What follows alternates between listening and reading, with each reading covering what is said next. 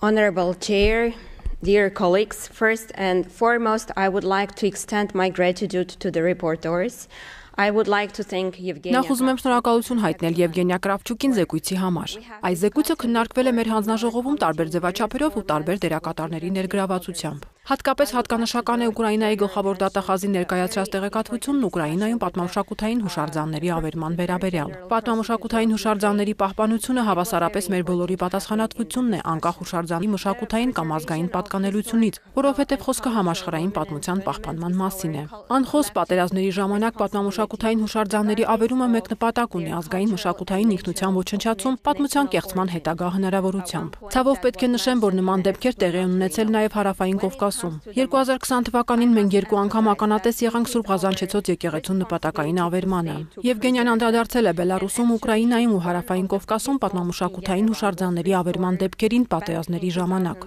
Ես ուզում եմ նախ մի պարզաբանում անել բոլոր գործընկերների համար, քանի որ համարում եմ Հայաստանում մուսուլմանական մզկիթների պահպանությունը պետության պարտականությունն է։ Եվ այս առումով, երբ նշվում է մզկիթների ավերման մասին, պետք է ասեմ, որ Երևանում քաղաքի սրտում ամենամեծ իրանական մզկիթն է տեղակայված, որը վերանորոգվել եւ գտնվում է պետական պահպանության